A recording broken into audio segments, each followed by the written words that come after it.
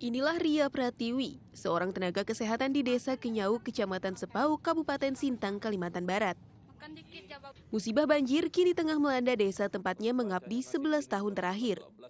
Bahkan pondok bersalin desa atau Polindes tempatnya melayani masyarakat sudah terendam selama tiga minggu.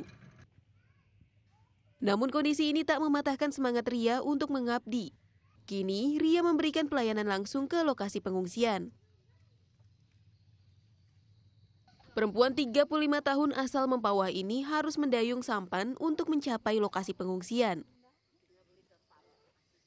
Ibu empat anak ini pun dengan sabar mendengar keluhan penyakit yang dirasakan warga terdampak banjir.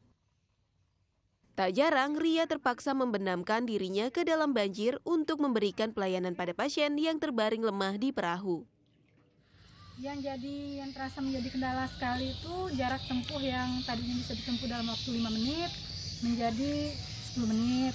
Karena memang yang tadinya bisa menggunakan kendaraan roda 2 sekarang hanya bisa ditempuh menggunakan sampan. Udah gitu eh, ruangan untuk melayani pasien yang memang udah terendam sama banjir semuanya. Jadi saat melayani pasien hanya bisa dilakukan di atas sampan. Ria berharap warga dapat tetap menjaga kesehatan di saat musibah banjir melanda.